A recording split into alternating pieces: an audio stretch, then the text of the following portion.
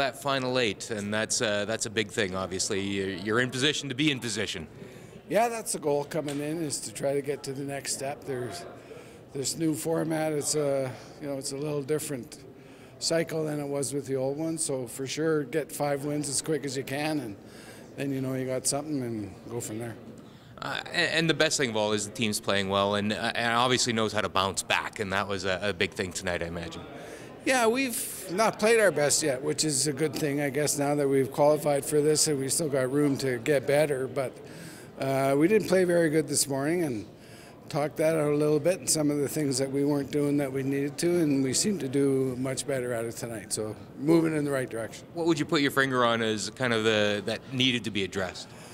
Uh, just really probably hack speed. We're just not using our sweeping enough, and we're standing and watching too many shots. And you know, most of the shots we're missing are overthrown. So it was just to trust the ice and know the speed and uh, and get our our hack speed figured out. Right.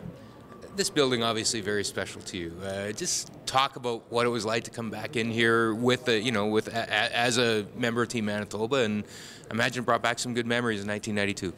Oh, it did for sure. Yeah, I came back in and looked around, and didn't seem like 26 years ago or whatever it was. And it's kind of cool that Chris Neufeld's here too. And as it happened, we were both out on the sheet for practice at the same time beside each other. So had a little chuckle and a laugh, and uh, and both thought of Vic, of course, yeah. and the fact he's not with us anymore, and, and and what we were able to do here. So yeah, it's been great you guys are in the championship round, and that's uh, got to feel good. Yeah, it does feel good. Um, you know, we're kind of that. That was our first goal coming into the week, and uh, I guess we can check that first box off. What, what, if you were to put your finger on, on a common thread uh, of the last few games uh, that has led to success, what would you put your finger on? I think uh, we're all just starting to get a little comfortable, and we've got a good handle on the ice now. Um, so everybody's sort of getting in a groove, and we're just making shots. And it strikes me that you guys are, are relaxed under the circumstances too, and uh, maybe is that a pleasant surprise considering you know that you guys have been fighting so hard to get to this freaking event, and now that you're here, you, you look very comfortable. Yeah, you know what? Once we once we got here, we're used to this sort of element uh, with the slams and the Canada Cup and the trials and stuff. So once we finally got here, it, it is a comfortable situation for for us, and we are used to it. So. It was just a matter of getting over that freaking mountain in yeah, Ontario. Yeah, just a matter of getting here, right? Yeah, it's it's been a couple goes and we finally did it. And what do you see in your skip right now that uh, kind of leads you to be confident about getting deep into the weekend? You know what? I actually saw it the week uh, before leading up in practice, and you could see it kind of in his eyes. He he looks focused. He's throwing the rock real crisp, and uh, I said if he's going to keep throwing like this, we're going to be in a good spot by the end of the week. Nicely done. I think we can lay claim to you guys being in the championship pool right now, and that's got to feel good about what you guys have accomplished here, especially after the 0-2 start. Yeah, absolutely. Um, it's uh, when you start 0-2, you're always back, kind of back against the wall. But like we said, um, we've been 0-2 in lots of bonspiels and battled back, and um, now to get you know that fourth win in a row, we're starting to roll. We're getting that confidence back, that little bit of swagger, and uh, we're going to sit ourselves up nice for the, the championship pool too if we can win tomorrow. It's interesting about that kind of mentality, right? Uh, that that C event mentality, and sometimes it brings out the best in teams.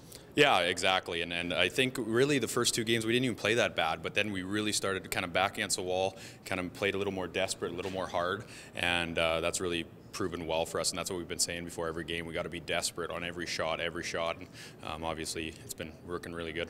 Clearly, the real question tonight is why didn't the old man get in the game? we asked him, and he would, I think secretly deep down he wanted to play, uh, but he was scared, and uh, he didn't practice. If he did practice before the event, he could have proved himself that he could slide, and then he'd have been in there. But um, it would have been a disaster. We were thinking letting Dallan throw the two shots, let him hold the broom, but if we hadn't happened to play another end, he wouldn't have been able to slide, so it wouldn't have worked so good. it's probably probably for the best, is what you're saying. Yeah, I think so. I think he he had his day, and it's it's it's it's over. Uh, you're in that championship pool, and that uh, that obviously is mission accomplished for now. Yeah, yeah. It's goal number one was to obviously get us uh, in a position to, to win, and uh, get us into uh, you know the position to uh, hopefully put us through into into the playoffs. But we're still a ways away from that. But mission accomplished, as you mentioned. Goal number one is down, and we still have a game left, and we definitely want to go in with some momentum. So we have a big game tomorrow against Reed. So we'll, we'll we know we need to be sharp, and we're, we're going to be in for a tough one. Yeah, yeah, and you had to come back strong after uh, this morning. And uh, was that just an easy game just to park in the rearview mirror, or was there some lingering frustration? I th- no, I, I think it was easy to park just because you know you have to, um, and uh, you know Steven and uh, Matt and those guys they're they're a tough team, and uh, we just came out a little bit flat, and they played well, and they they uh, took advantage of the opportunities that we gave them. But I think it was you know it kind of kicked us in the butt a little bit too, and we were starting to to kind of trend in the right direction. We were starting to play really well, and we kind of just had a little misstep there. But uh, we were able to regroup really quickly, like you said tonight, and I think uh, we'll, we'll be full of confidence hopefully tomorrow as well. It's interesting that sometimes a well placed loss is not a terrible thing. Yeah, and that's what we talked about. I mean, Brad came kind of came in the dressing room and said, "Sorry, boys," and said, "There's no need to apologize." You know, and we kind of laughed and said, "You know, better now than than later." All of us kind of struggle a little bit, and it's not one person that's ever really going to lose a game. So we were able to kind of let it go, but we were able to kind of use it, utilize it too, right? I mean, that's the big thing is you know is learning uh, from when you win or lose, especially when you lose. And so we took some uh, some things out of that loss that we wanted to bring to this game, and I thought we did that really well tonight. Let's talk about your brother for a minute. Uh, he's going through a tough week, obviously, and you, I know you feel for him, and he's he's really showing some brass to, to even stay out there right now. Yeah, he is. I mean, for Ryan to actually say I can't play, you know, he's he's not feeling well. he's he's having a really tough go, and he's been a trooper all week. I mean, even uh, tonight, I know he wasn't feeling great. Obviously, missing today's game, and wasn't really sure if he was going to play tonight. Um, but you wouldn't really know it out there. I thought he still played really well. He swept uh, his butt off, uh, especially on a few of mine. So um, kudos to him, and you know we're lucky to have him uh, as part of our team. And anytime we can have him out there, we want him out there.